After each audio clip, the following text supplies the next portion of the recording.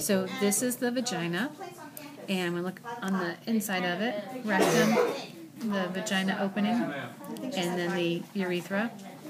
Okay, if I look right here, this would be your mons pubis. Then this right here is your labia majora. Inside is your labia minora.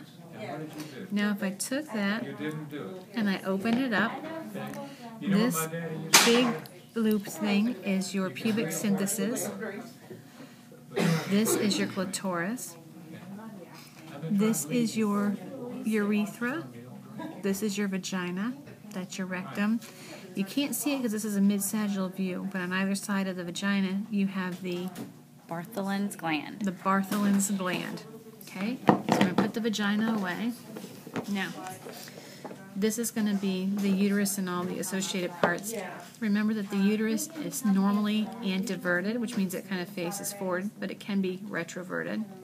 This is your rectum. Let me go to the inside of the body here and point out a couple things.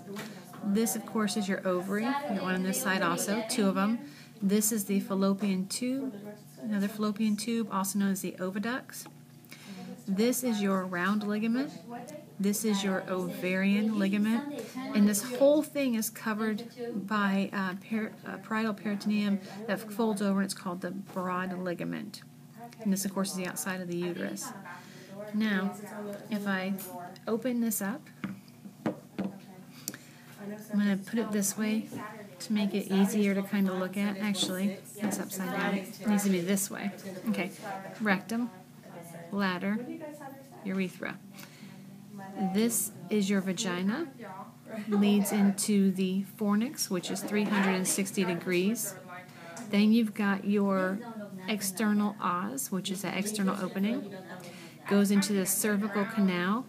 This whole little area is the cervix of the uterus. This is the body, and this is the fundus of the uterus.